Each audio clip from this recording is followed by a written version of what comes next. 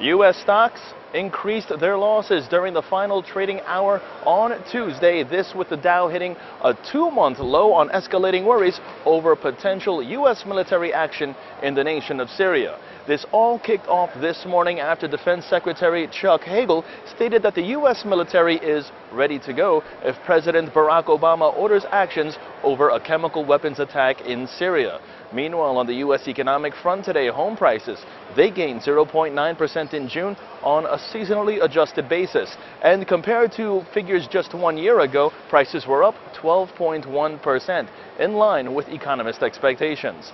At the same time, consumer confidence today gained to 81.5 in August, topping expectations calling for 79.1.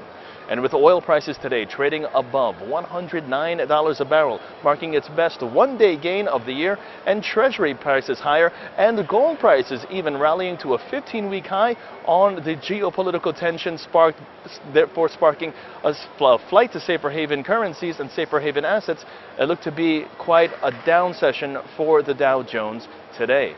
Speaking of which, taking a look to see how the Dow Jones has performed this session, the Dow Jones down triple digits, 170.33 points to settle in at 14,776.13.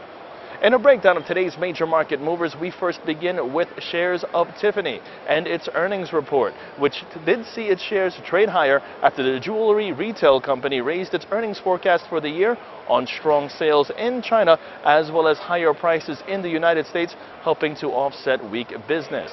And lastly, JCPenney taking yet another hit today. This after Pershing Square's Bill Ackman sold his entire 18% stake in the retailer, totaling nearly 39 million shares years.